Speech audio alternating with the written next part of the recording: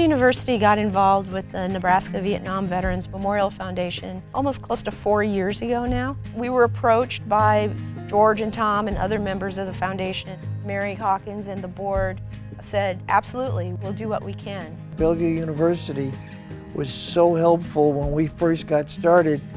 You know, we knew we had to get a web page, and uh, Lisa Jorgensen, she said, well, we have some people. John Bunger, who works with Brian in design and development, helped create a, a video walkthrough from flat schematics of the project and put it to life in animation. We've got Brian Keir from the Design and Development Department who helps manage uh, their website. He actually created it. JR is working to get the word out about Project Share Your Story. If you are a Vietnam veteran, we would love for you to contact us to tell my story.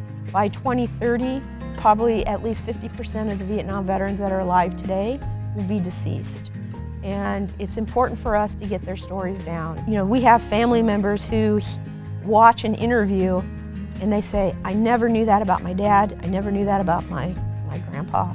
So if someone has any kind of veteran or that they want to honor, they can purchase a memorial tile and those will be displayed at the memorial permanently. We have three different types of tiles. I mean, they're all the same tile, but the first one is you just get a name and the service dates that the person was in. I think that's $200. Second one, I think, and for 250 you get the name and the service and a picture.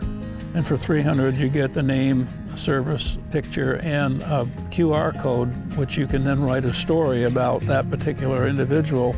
Nebraska Vietnam Veterans Memorial will be unique among memorials, mainly because we're, we're doing a really heavy back end on education. At the physical side of the memorial, we're incorporating QR codes at the obelisks or at the helicopter.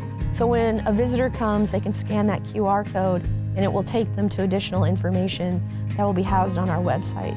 For each obelisk is set up for each year of the war. So you got 11 obelisks what is going on in Vietnam in, say, 1968, and then what was going on in the United States in 1968.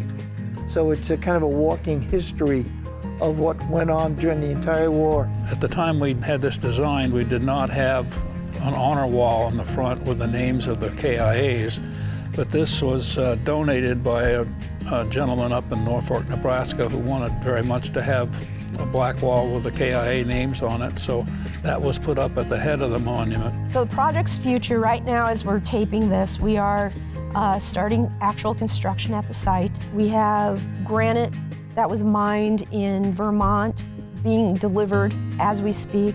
So by June 6, 2024, the memorial will be, will be open for, for visitors and, and business. The site of the memorial is located south of 108th and 370. So you'll have the Papillion La Vista South High School, SumTur Amphitheater, and there's room to grow there in case the project needs to grow anymore.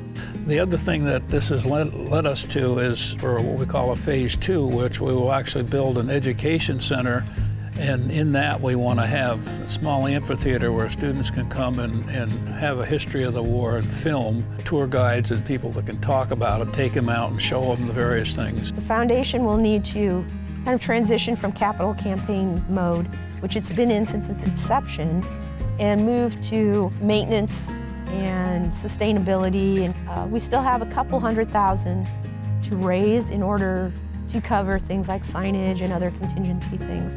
But we are definitely on the way to being a complete and visitable memorial by June. As the university, we should all be very proud that we work at an institution that says we're going to invest in the community. Our purpose here is to make sure that that physical site is living and breathing in a way so that when visitors come, they'll understand the significance of the Vietnam War.